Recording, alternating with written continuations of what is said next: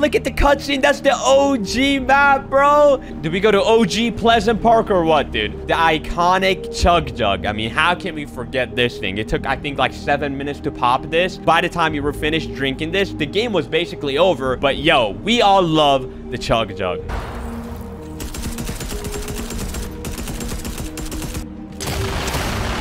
Oh my god, I didn't know they put OG players in here too. This guy's an OG player the way he's playing.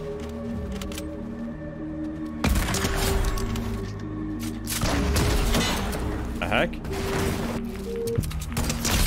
Oh!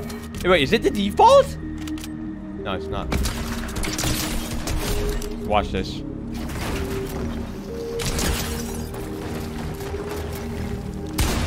Let's go.